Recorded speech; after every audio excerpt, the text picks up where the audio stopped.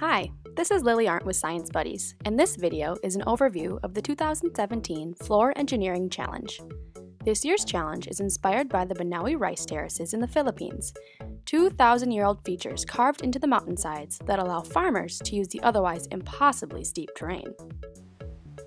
Your goal is to build a tiered structure that simulated the irrigation system used in the rice terraces.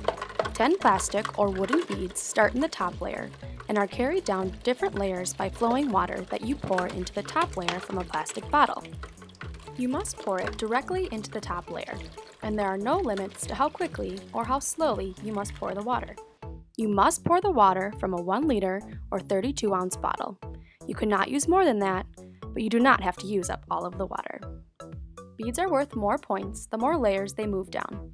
For example, the beads that made it all the way to the bottom layer are worth more points than the beads that only made it down one layer. Beads that fall out of the machine completely are not worth any points at all. However, you can only build your machine using these materials aluminum foil, large and small paper or plastic cups, popsicle sticks, and scotch tape.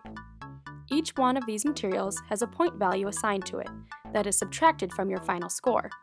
There are no restrictions on the exact shape of each layer, however each layer must be at least 1 centimeter deep at its deepest point, and the bottom of each layer must be higher than the top of the next layer. Your model can have up to 10 layers, which means there's a trade-off. More layers will get you more points if the beads successfully flow down, but will require more materials to build.